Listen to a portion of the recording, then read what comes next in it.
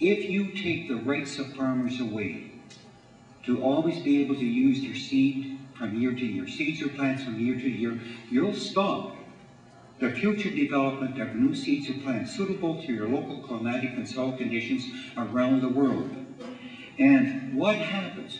What will happen if you have some blight, some disease, and some disaster in your crops? You've got nothing to go back to if you get down to one or two varieties, especially if the terminator gene is introduced. So choice is gone. And what really has bothered me when I heard one of the seed companies state that with the introduction of the terminator gene, they can contaminate, and then there's no longer choice left.